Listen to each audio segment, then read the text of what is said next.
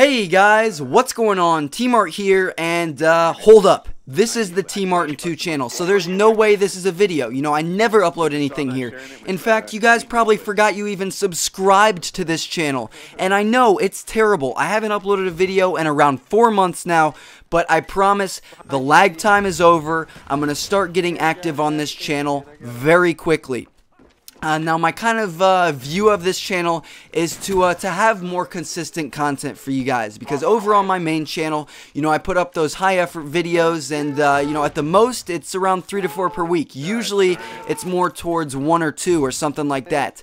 Uh, but I've got the summer coming up. I'm gonna have three months of nothing to do to where I can produce entertaining content for you guys, and that's where this channel comes in.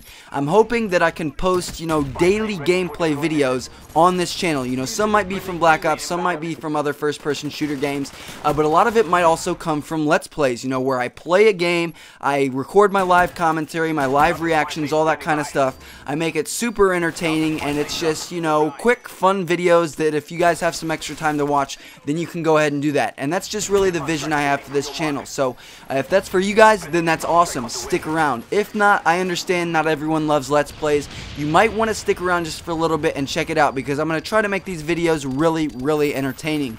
Uh, but with that being said, I need to ask you guys, what type of games would you like to see Let's Plays of? Uh, looking over at my games selection right now, I really don't have too much. I have Tom Clancy's Splinter Cell Conviction, which looks like a pretty badass game. If that's something you want to see, I can do that. And then there's also LA Noire coming out soon. It's where you play a detective. That looks pretty badass. Uh, there's Portal 2. There's all kinds of these different games. And then, of course, there's all kinds of games I've never heard of that you guys might want to suggest. So if you have any games that you would like to see that you think would be entertaining, then please just leave them in the comments below. I can play on any system, including the PC. Thank you guys. There's a lot of great stuff coming soon, and I'll catch you all later.